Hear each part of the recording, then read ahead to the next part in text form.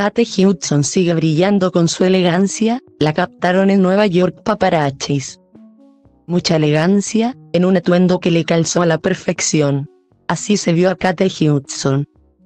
Este lunes por la noche, mientras salía de los estudios de NB Grande C, en Nueva York.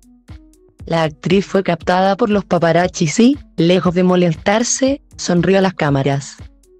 De acuerdo a Vanitatis, la nominada al Oscar tiene, precisamente, motivos de sobra como para sonreír, su participación en Glass Onion, Acne South Mystery la devolvió a las superproducciones y, como consecuencia, a desfilar por las alfombras rojas. Hudson se mostró de buen ánimo, al mismo tiempo que hizo una importante revelación sobre su vida. La artista oriunda de Los Ángeles insinuó que podría tener más hijos. Actualmente tiene tres, producto de diferentes relaciones.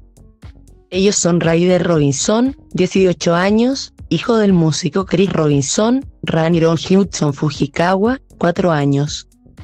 Hijo del también músico Danny Fujikawa, y Bingama Umbelami, 11 años, hijo de Mabel Ami. Cantante del grupo de rock británico Muse.